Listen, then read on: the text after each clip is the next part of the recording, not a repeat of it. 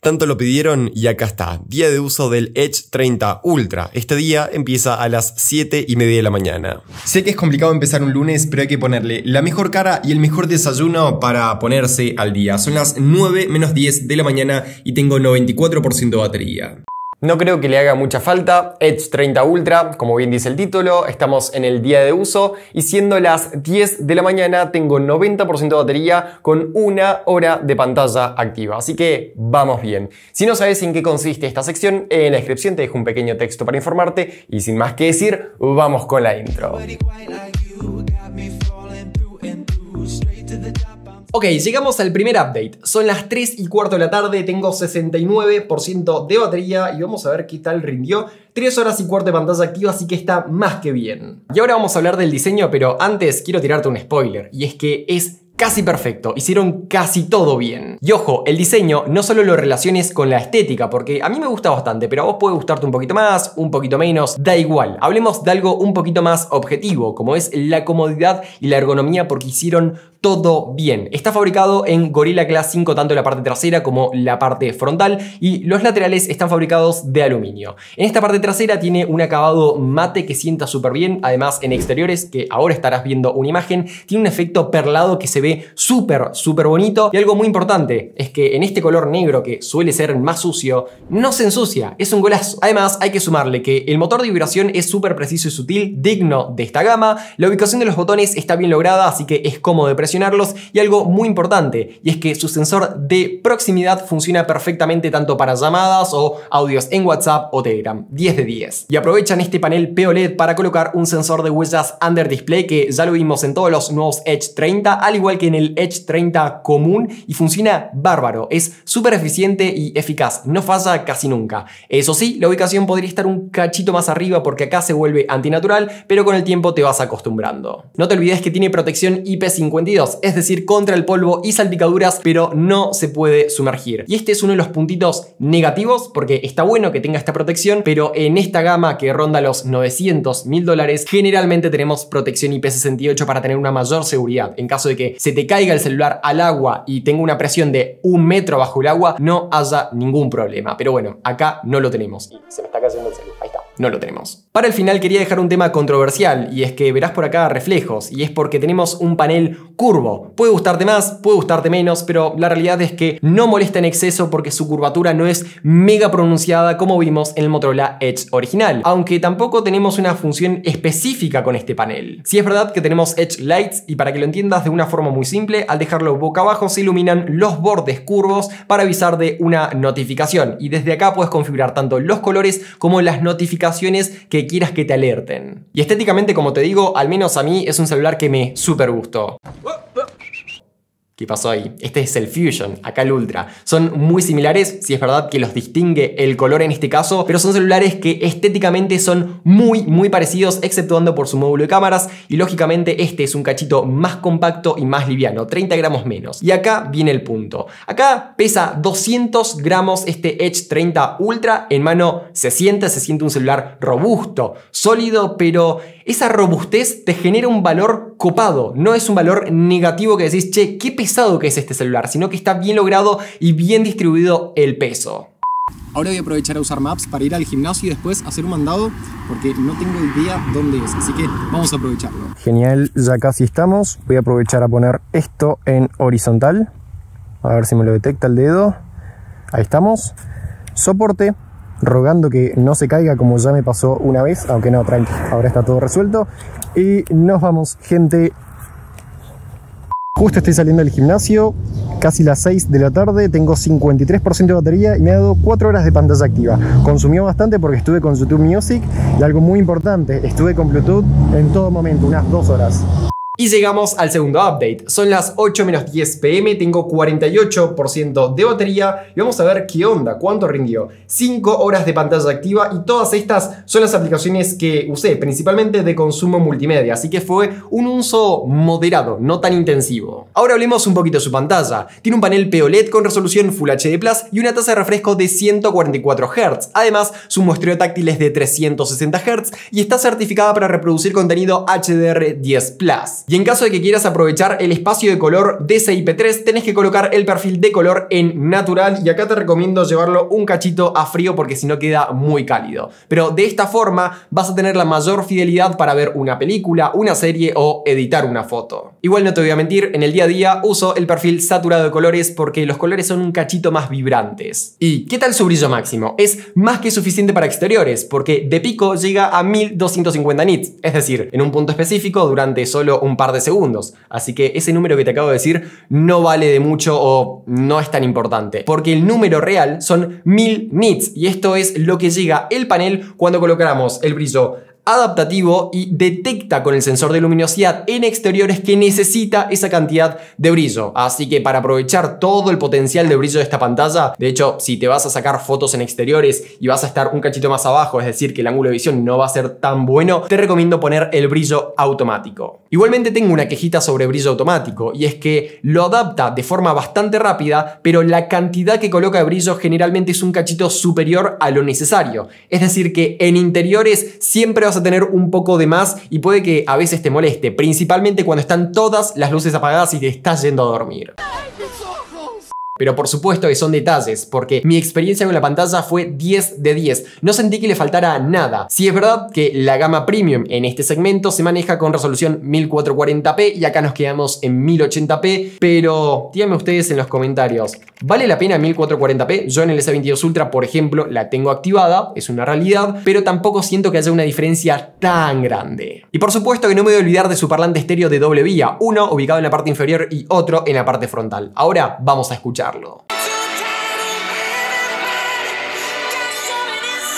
Cortito porque si no, saltan derechos de autor. De toda la gama premium que probé este 2022 es uno de los mejores parlantes. No creo que sea el mejor porque le falta un cachito al parlante frontal, pero está súper bien logrado y se le puede sacar muchísimo partido cuando lo ecualizas con Dolby. Y opino exactamente lo mismo con los auriculares, porque puedes aprovechar además el codec LDAC para tener la menor pérdida de calidad posible y ecualizarlo también con Dolby, así que 10 de 10. Y te comento esto porque ninguno de los nuevos Edge 30 tiene jack de 3,5. Y ya que hablamos de la pantalla, aprovecho a responder una pregunta que me hicieron muchísimo en su review que te lo dejo por ahí, que dicho sea de paso, ahí vas a ver a detalle todo el apartado de fotografías porque en esta sección no suelo analizarlo para no ser redundante. En fin, ¿Cuál era la pregunta que me hicieron mucho en ese review? ¿Qué onda con los toques fantasmas? Porque es normal en una pantalla curva que si lo agarras así, tengas algún que otro toque con estos dedos. Es muy normal. Bueno, acá no la sufrí en exceso, si es verdad que con este gesto a veces está detectando la pantalla algún dedo, pero vean que yo a pesar de que lo muevo así, no se va a mover la pantalla, funciona genial. Pero el doble toque, esa función, sí se desactiva porque están tocando los dedos. Es el único detalle que vi. Ya lo sé, está atardeciendo, así que no le hace mucha justicia el brillo máximo. De hecho, yo en este momento lo tengo al 60-70% y se ve súper, súper bien en exteriores. Pero lo saqué ahora para que vean un poquito los reflejos. Y es que sí, son molestos, pero tampoco súper, súper invasivos. Lo malo de tener un Roku es que hay algunas aplicaciones que no son compatibles. Así que con el Edge 30 Ultra me facilita muchísimo tener el Ready for inalámbrico. Acá tengo Roku Express 4K Plus lo empiezo a conectar y se conecta de una. Y puedo utilizar aplicaciones como Star Plus que no están disponibles en Roku, así que es un golazo. Y por fin llegamos al tercer update, no sean una idea lo cansado que estoy, pero hay que ponerle la mejor onda, porque en este update vamos a hablar de un tema muy importante y es el performance. Hoy en día, un gama premium tiene que tener lo mejor de lo mejor para pertenecer a esta gama, y el Edge 30 Ultra lo cumple. Pero antes, veamos qué onda con su batería, porque son las 12 menos 10 de la noche y tiene 25% restante de batería. Vamos a ver qué onda, cuánto nos rindió. 7 horas y media de pantalla activa, súper bien el resultado y por acá todas las aplicaciones que usé durante el día van a ver que con respecto a la, a la estoy quemado, chicos, perdón. Comparado de la actualización anterior, van a notar que jugué un rato y el uso fue un cachito más intensivo. Pero yo le pondría un uso promedio barra intensivo. Aunque para, todavía no hay que terminar este día de uso. Te pongo en contexto. Llevo el Snapdragon 8 Plus generación 1 con 12 GB de RAM y 256 GB de almacenamiento no ampliables. Existen otras variantes de 8 y 128, pero la que llega a Argentina es de 12 y 256. De fábrica corre MyUX basado en en Android 12 y es una capa semi-stock que ya todos conocemos y digo que es semi-stock porque tenemos esta aplicación que nos permite personalizar el tema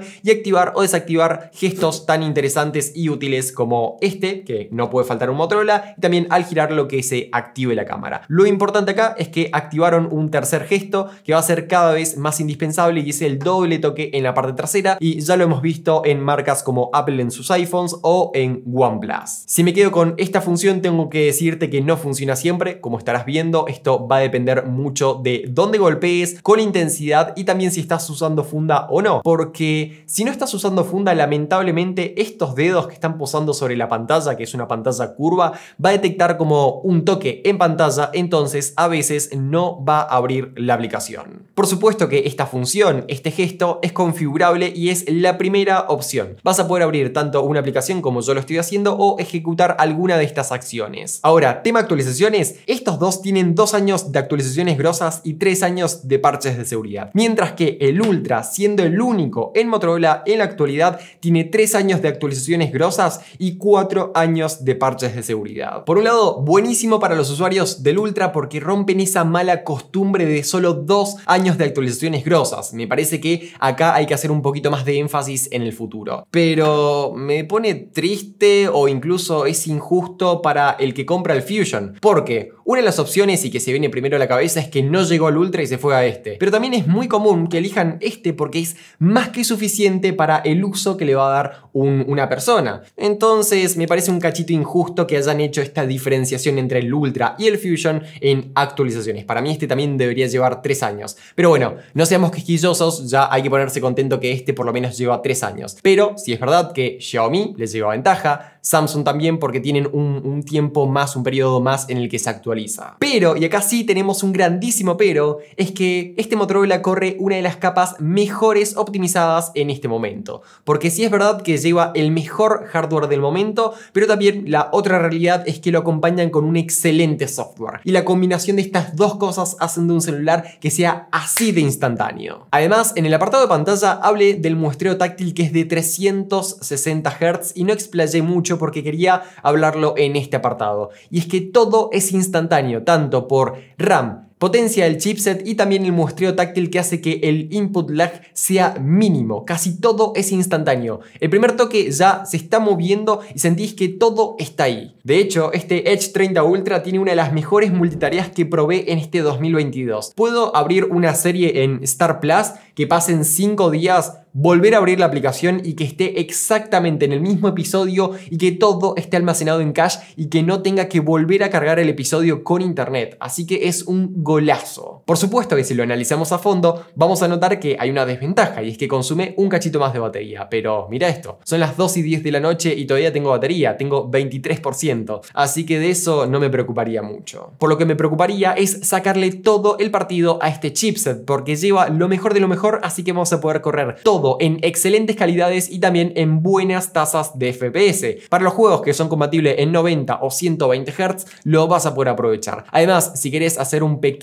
render en 4K, también lo vas a hacer en un tiempo mínimo y eso es súper cómodo. Este apartado te lo voy a simplificar de la siguiente forma. Si el Fusion con el 888 Plus 5G y el Pro con el 8 generación 1 funcionan excelente, ¿qué vas a esperar de la versión Ultra que lleva lo mejor de lo mejor? El 8 Plus generación 1. No podés esperar menos. Y de hecho, quiero hacer alusión a algo que dije en el review de la versión Pro, que te lo dejo por acá. Y es que dije que su performance era algo violento, pero no creo que haya sido la mejor descripción, sino más bien que la descripción es un performance bruto. Porque vos pedís algo y toma, te lo tiran por la cara. Es como una torta por la cara. Y está buenísimo. A ver, no que te tiren una torta en la cara, sino más bien de que la aplicación la tengas al toque, que el input lag sea mínimo y que todo sea súper fluido. La, la experiencia en performance de, este, de esta versión ultra, perdón que me estoy trabando, pero estoy súper cansado, siento que es una de las mejores experiencias, por no decir la mejor, de este 2022. Eso sí, me faltaron probar los Pixels y también algún OnePlus. Pero yo creo que este Ultra se lleva al top 3 de los mejores en experiencia de performance. No quiero terminar este update sin hablar de las conexiones, y es que es compatible con Wi-Fi 6E,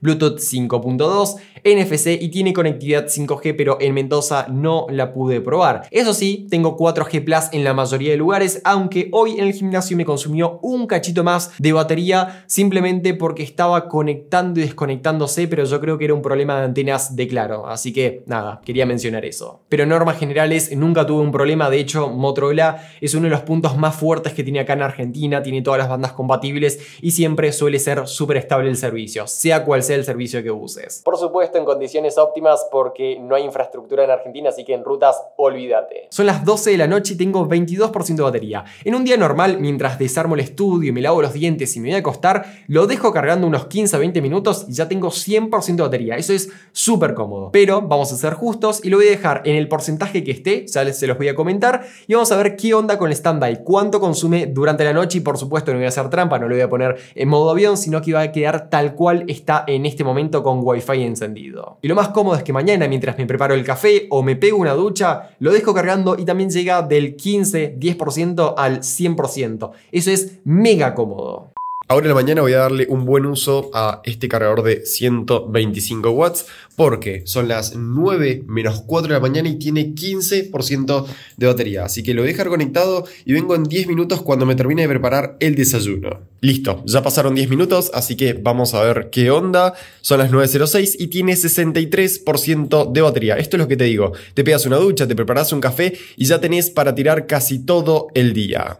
¿Y cómo estuvo el stand-by durante la noche? Me fui a dormir a la 1 menos cuarto de la mañana con 21% y me desperté a las 7 y media con 18%. Es decir, que si sacamos un promedio más o menos cada 2 horas, consume 1%. Así que muy bien. De hecho, todos los Edge 30, incluyendo la versión común y Pro presentada hace un par de meses, tienen esta eficiencia en stand-by. Bien ahí. Es un hecho que no existe un producto perfecto, pero también es una realidad que Motorola, con este Edge 30 Ultra, se acerca a tener uno de los productos más perfectos que ha fabricado nunca. Y no es por exagerar, porque este celular hace todo bien excepto, y sí, tiene unos cuantos peros y por eso no es perfecto. En primer lugar tenemos este problemita grabando a 60 FPS, ya sea 1080p o en 4K, que me parece súper extraño que no lo hayan solucionado un par de semanas después de su lanzamiento, así que estimo que estará relacionado al sensor de 200 megapíxeles que todavía no hay mucha información y por supuesto el desarrollo va a ser un cachito más largo y supongo que de acá a un par de semanas ya va a estar solucionado, pero a día de hoy, mitad de noviembre, no lo está. En segundo lugar, para hacer un gama premium que cuesta entre 900 a 1000 dólares, me parece algo injusto que tenga protección IP52, considerando que toda la competencia tiene protección IP68. Y ya no es una cuestión de comparar o ser quisquilloso, sino más bien de estar más seguros con el celular. Y en tercer lugar, la batería, aunque esto es válido para la minoría, porque vean esta captura de pantalla, una menos cuarto de la mañana y me dio 8 horas de pantalla activa y todavía tenía 20% restante de batería. Así que para mí y la gran mayoría, más que suficiente.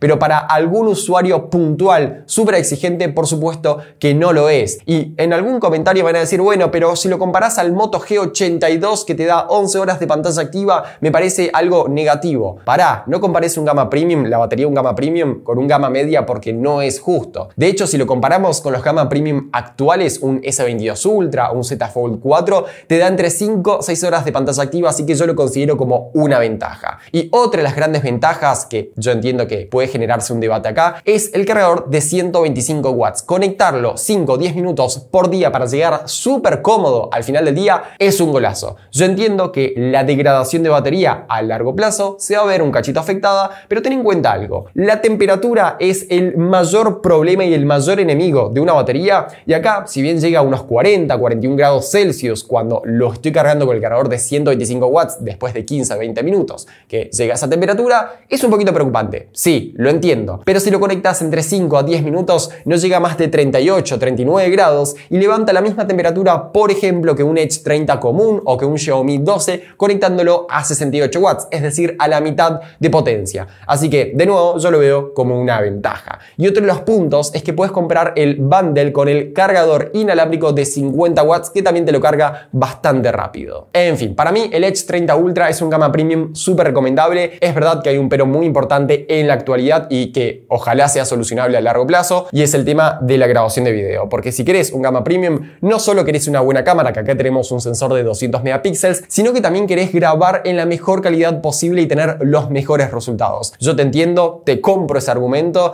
y es una pena que haya pasado esto desde el lanzamiento. Pero en todo lo restante hace no todo bien, lo hace perfecto. De hecho, como les dije recién, es para mí el celular más rápido del momento y en performance el que mejor se mueve. Por supuesto que si quieres reforzar todos estos datos, no solo por acá ya te dejé su review, sino que también en la descripción tenés todo el contenido relacionado a este celular. Y muy pronto se viene una comparación con la versión Fusion y la versión Pro. Y ahora sí, sin más que decir, espero que te haya gustado este video. Si fue así, deja un me gusta, suscríbete, activa la campanita y, ah, hay canal secundario, pásate por la descripción. Sin más que decir, nos vemos en un próximo video. Chau, chau.